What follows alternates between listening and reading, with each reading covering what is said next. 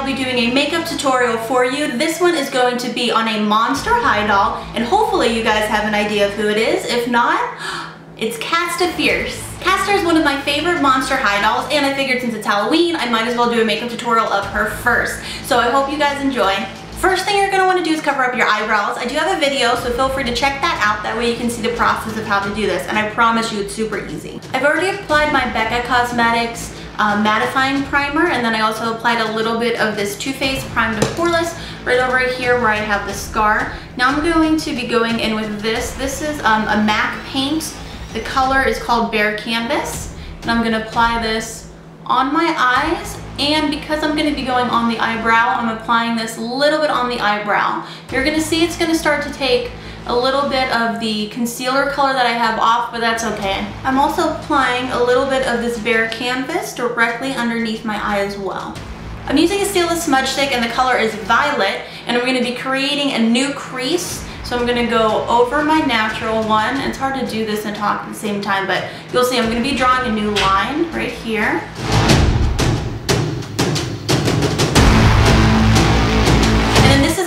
Guideline for where my new crease is going to be and I'm going to do the same thing on the other side.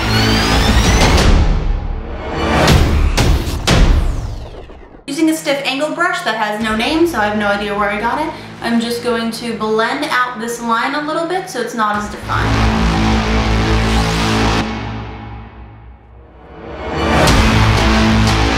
This is the same brush and I'm just going to go in with an Inglot Rainbow Shadow, the darkest of this purple trio. And just a little bit and lightly, I'm gonna go and put that right on top of where I already have the purple line. You're gonna see me using this a lot. So this is the Makeup Forever Flash palette. I'm going in with this gold shade up here. I'm just gonna take some out and I'm going to take a nice big uh, fluffy, well it's actually not that big, I lied. So I'm gonna take a nice brush that I can't seem to find, which is perfect and wasting your time, even better.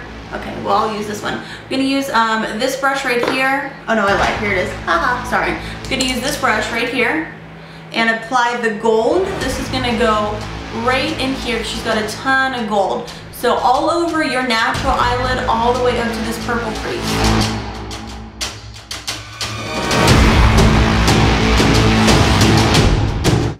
She does take the color right here into her inner tear duct. If you notice, I have a little flap. That's what I call it anyway. Um, a flap of skin, so I don't have that, that like opening that most people have.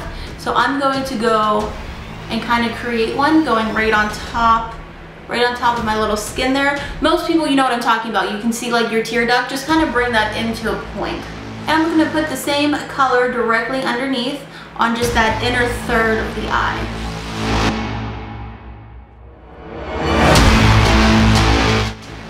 Into this Inglot trio, I'm going to use my Delium number 780 brush. I'm going to go into the middle of the purple colors and use that right on the outside corner of the eye underneath.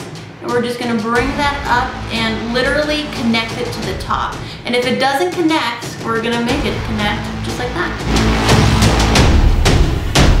I'm then going to do the same thing using the darkest of the trio colors and just go right over top of that.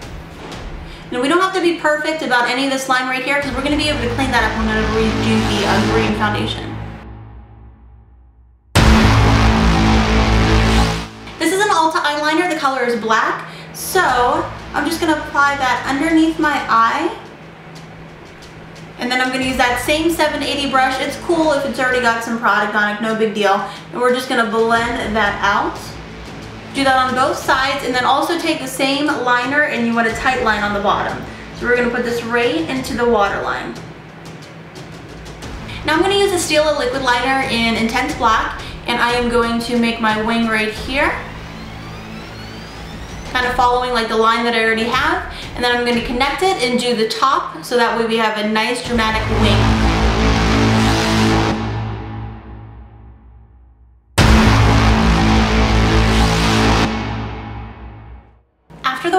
Time to put on some glitter. This is from Eye Kandy Cosmetics and the color is called Bananarama.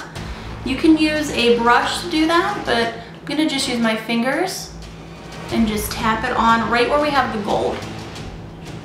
Now it's time for my best part, which is the foundation. So I mixed a few different colors together. I mixed this green, the yellow, and then some of this white just to get more of a lighter skin tone because she is green, but she's not like a super dark shade. So I wanted to lighten it up a little bit.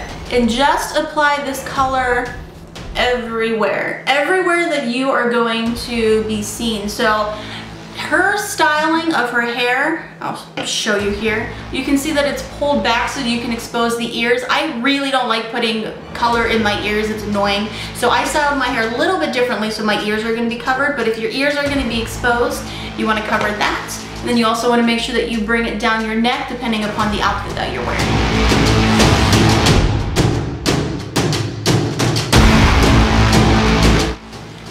How saying around the eye area, we don't, you know, like here, we don't have to be as perfect so we can clean it up later. This is what I mean. So using some foundation on the brush, I'm gonna go right underneath and I'm gonna actually shape how I want that under eye um, eyeshadow to look. And see how that's already starting to give shape? Same thing on the top. Her line is pretty defined, so I'm just gonna use this to give shape. So do you see how that just cleans it up? It just makes it a lot easier for you if you wait till the end. While everything's wet, I'm gonna go ahead and highlight and contour. So I use that same mix. I just had some leftover foundation and I'm going to add a little bit of this brown to create a shadow color. And her cheekbones are pretty defined and she also has a little butt chin, um, or that's what I call when there's a little uh, cleft in the chin, which I have too, so notice. But we're going to contour pretty high. So I'm gonna be going up here I'm going to go down here. She has a lot here and it comes down. And then right here. She's also contoured right here and here. And then she has a very, very slender nose with a little, um, like a ball tip. So I'm gonna go in pretty tight here on the one side and on the other. that up. You wanna get that line as straight as possible down here, and then to create that little tip of the nose, I'm just gonna apply some color here. See how it almost makes like a little circle? Using the damp sponge, we're just gonna blend all of this together.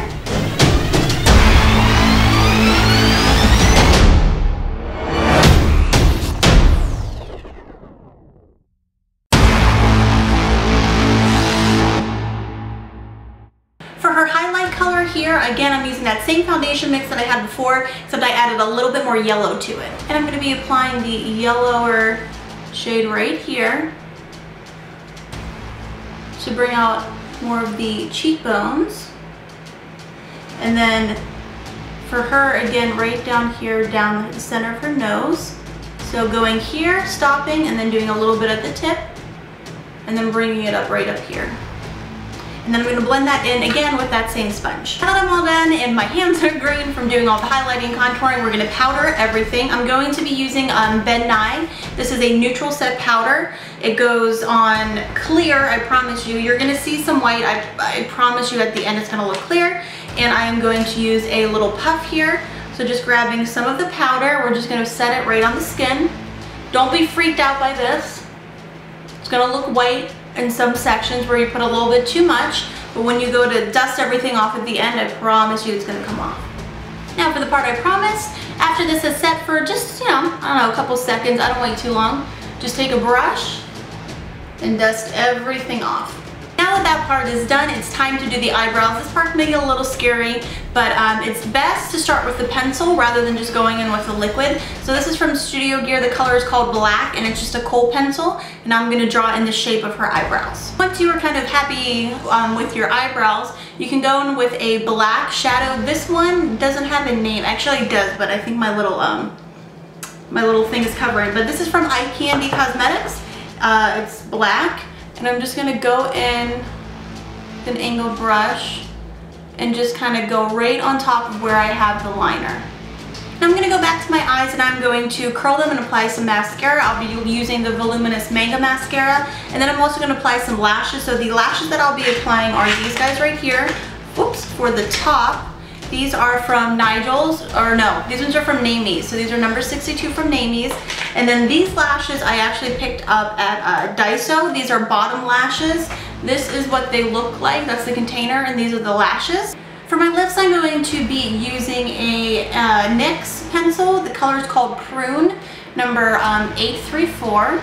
The purple that I'm going to be using um, for lipstick is actually from uh, the very, very old color from MAC. It's called uh, Fervent. It's a satin. So it's a very dark purple. So any dark purple lip will do. And then I'm also going to be using a black on the outer corners. So I'll be going off of my palette here. So I'm going to go in with that purple shade first. Then using the black, I'm going to go right on the outer corners. For gloss, I'm going to be using this Lab Shine from Makeup Forever and the shade is D2. So now it's just time for the final detail. So on Cass's face, she actually has like a long diamond under the right side of her eye in gold. So I'm going to be using a Makeup Forever liquid eyeliner. This color is number one. And I'm just going to draw that on. So this is nowhere near as bold as I want it to be. Can you tell that I don't ever practice these things before I film? So I'm actually going to go back into my um, Makeup Forever Flash palette, which is down here, sorry. And I'm gonna use this gold and kind of retrace over that spot. That is way better. And then lastly, she actually has a beauty mark right here. So I'm gonna go in with that Stila liquid liner and I'm just gonna press it right where I want the beauty mark to go. Now for the hair again, um, if you want, you can go ahead and pull this back. You could also do um, black. Her hair is black has an orange and purple streak. I kind of liked how this, my color, actual purple, looked with the whole look, so I left it here. And I made sure that I could cover my ears because I don't want to have to worry about getting makeup in there. And then I'm going to bring this down just a little bit. I hope you guys liked it. I had such a fun time doing this. I hope I at least, you know, look like I could be in the cast of family anyways. So if you guys have questions on anything at all, go ahead and let me know. Thank you guys so much for watching. Don't forget to subscribe to me on Facebook, Instagram, and Twitter. And I do have a review and unboxing up of Casta, so if you want to see that, you can check that out as well. See you guys next time. Bye.